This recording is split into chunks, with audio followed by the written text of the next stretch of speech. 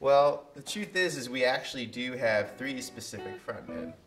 I'm Dan, this is Tim, and that's Jeff. We grew up playing in jazz groups, so you needed a drummer, you needed a bass player, you needed a guitar player, piano player. You you know, you played solo performances, but you really needed each other to make a sound. Wait till you hear our new album. It was just an extension of what we do, but yeah, it's we're very happy with the results. We love making music. We love the process. We're just really excited to put this record out. Uh, it's called Troubadour because that relates to our lives. The sort of theme song for the record is called Insecure Troubadour.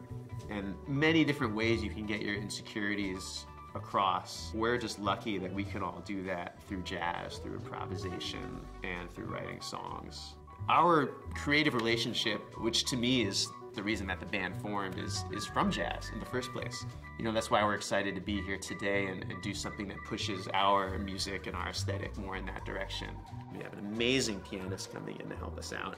Like Dave, our fourth band member and visual projectionist, is using new software to, to map out projections on certain objects. I don't think there's anybody out there playing straight, you know, jazz music with projection mapping. Just vibe it. Okay.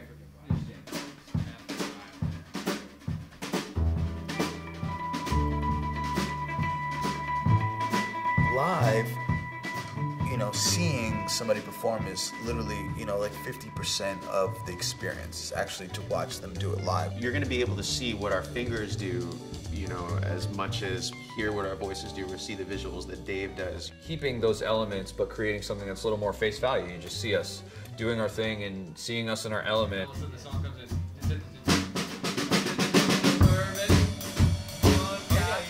Feels like performing sometimes like you're naked up there you know they see like you're wearing your heart on your sleeve and you know so that's why we gotta you know we gotta have nice outfits projections crazy colors here i feel like this is gonna be a very controlled variable so we're actually hopefully gonna sound to the best of our abilities that was the best I take. know, that- that that was may have the been the best. best. take. That was the best take. Wow. Definitely. That, was, yeah that was a Fabian take for us for sure. Yeah. And we might come in there and be like, oh wow, that's the worst take. Right.